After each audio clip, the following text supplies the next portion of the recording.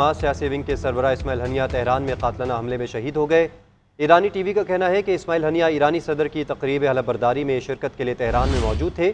ان کی قیام گاہ پر حملہ کر کے انہیں شہید کیا گیا۔ پاسداران انقلاب کا کہنا ہے کہ اسماعیل ہنیا کو تہران میں شہید کیا گیا۔ ایرانی خبر رسائی ایجنسی کے مطابق حملے میں اسماعیل ہنیا کا ایک محافظ بھی شہید ہوا ہے۔ اہم خبر سے آپ کو اپڈیٹ کریں گے حماس کے سیاسی ونگ کے سربراہ اسماعیل ہنیا تہران میں قاتلانہ حملے میں شہید ہو گئے۔ ایرانی ٹی وی کا کہنا ہے، اسماعیل ہنیا ایرانی صدر کی تقریب حلف برداری میں شرکت کے لیے تہران میں موجود تھے۔ ان کی قیام گاہ پر حملہ کر کے ان کو شہید کیا گیا۔ پاسداران انقلاب کا کہنا ہے، اسماعیل ہنیا کو تہران میں شہید کیا گیا۔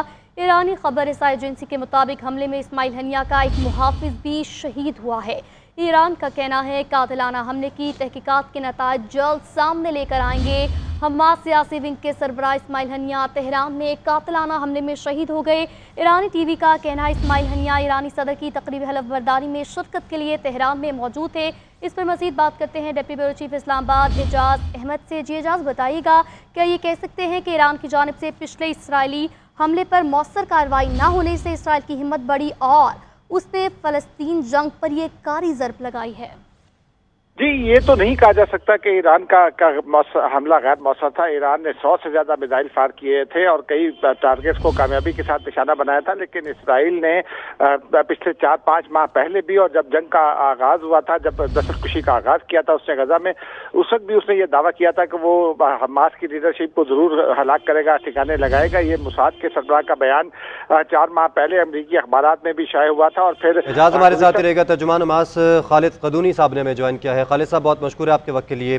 خالد صاحب، یہ بڑا سانحہ ہے پوری مسلم اما کے لیے بھی اور جتنے بھی مسلم ممالک ہیں ان کے لیے۔ اس وقت آپ صورتحال کو کس طرح سے دیکھتے ہیں اور آگے کا عمل کیا ہونے جا رہا ہے حماس کا؟ بسم اللہ الرحمن الرحیم، ان اللہ و انا الیہ راجعون۔ دیکھیں اسماعیل بھائی جو ہے رحمت اللہ علیہ ایک مجاہد بھی تھے، پرائم منسٹر بھی تھے، پولیٹیشین بھی تھے، پروفیسر بھی تھے، امام مسجد کے امام بھی تھے اور خطیب جمعہ بھی تھے۔ اور ملٹی ڈائمینشنل پرسنالٹی اس کے باوجود ہے، اسرائیلی درندوں نے ان کو شہید کر دیا ہے۔ یہ ثابت ہوتا ہے کہ جی اصلی چہرہ کے ان درندوں کیا ہے دنیا کے اندر جو دعویٰ کرتی ہیں ڈیموکریسی کا ہیومن رائٹس کا ہے انٹرنیشنل لا ہے۔ کون سا لو رہ گیا ہے جو اسرائیل نے اس کو وائلیٹ نہیں کیا ہے؟ آئی سی جے اعلان کر دیا ہے کہ جی وہ اسرائیل وار کرمنل ہے تو آگے کیا کرنا ہے؟ آگے اور مزید جنوسائڈ کر رہے ہیں، اور مزید قتل و غارت کر رہے ہیں نس کشی کر رہے ہیں۔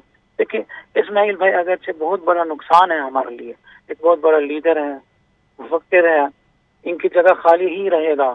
لیکن ساتھ ساتھ کے چالیس شہید بھی ہمارے پاس ہیں، جن میں سے ستر فیصد بچے اور خواتین ہیں۔ دنیا کے ضمیر نہیں ہلایا۔ یہ سوال ہے، بہت بڑا ہے۔ اسماعیل بھائی کے خاندان کی طرف سے۔ اسماعیل بھائی، جنہوں نے سیونٹی نائن شہید تقدیم دیا اپنے ذاتی خاندان سے ہے بڑے خاندان سے جیسا کہ ہم، یہ جہاد ہے ہمارا ہے یہ تحریک مزاحمت ہے، یہ آزادی کی جد و جہد میں ہم کرتے رہیں گے، یہ قربانیاں ہیں۔ اس سے ہمارے لیے اور مزید ثابت ہوتا ہے کہ ہم صحیح راستہ پہ جا رہے ہیں اور ہم انشاءاللہ کے فتح کی طرف جائیں گے۔ اور یہ ثابت ہوتا ہے، ہمارا دشمن کے پاس کوئی اور راستہ نہیں ہے، سوائے کہ انہوں نے یہاں سے نکلنا ہے اور جانا ہے۔ یہ اساسنیشن کرنا جس طریقے سے انہوں نے کیا ہے ادعا کرتے ہیں کہ مدعی کر رہے ہیں کہ جی مطلب ہم مذاکرات کی طرف جائیں گے یہ ثابت ہوتا ہے کہ منافق ہے مجرم ہے اور یہ اہل مذاکرات ہے ہی نہیں ہے لہذا کہ یہ اس سے ثابت ہوتا ہے وہ اندر سے کتنے بحران کے اندر ہے اور کتنے کرائسس کے اندر ہے۔ ہم امید رکھتے ہیں۔ خالد قدومی صاحب سے غالباً رابطہ منقطع ہو گیا ہے۔ ناظرین، آپ کو بتائیں کہ اسماعیل ہنیہ کی شہرت تہران فلسطین تعلق کو مزید مضبوط کرے گی۔ ایرانی وزارت خارجہ کی جانب سے یہ پیغام جاری کیا گیا ہے۔ تہران اور فلسطین کا تعلق گہرا اور نہ ٹوٹنے والا تعلق ہے۔ ایرانی وزارت خارجہ کی جانب سے بیان جاری کیا گیا ہے۔ ماس کے رہنما اسماعیل ہنیہ کو ایران میں شہید کر دیا گیا۔ غیر ملکی خبر ایجنسی اور خود حماس کی جانب سے بھی اس بات کی تصدیق کر دی گئی ہے۔ حماس نے اسماعیل ہنیہ کی شہادت کی تصدیق کر دی ہے۔ اب سے کچھ دیر پہلے ترجمان حماس، خالد قدومی صاحب بھی ہمارے سے موجود تھے اور ان کی جانب سے بھی اس سانے پر تشویش کا اظہار کیا گیا اور ان کی جانب سے کہا گیا کہ جو جہاد ہے وہ جاری رہے گا۔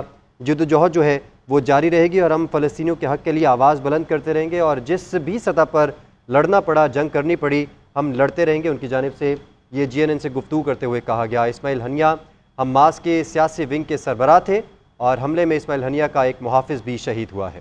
اہم خبر سے آپ کو آگاہ کریں گے۔ حماس سیاسی ونگ کے سربراہ اسماعیل ہنیہ تہران میں قاتلانہ حملے میں شہید ہو گئے ایرانی ٹی وی کا کہنا ہے، اسماعیل ہنیا ایرانی صدر کی تقریب حلف برداری میں۔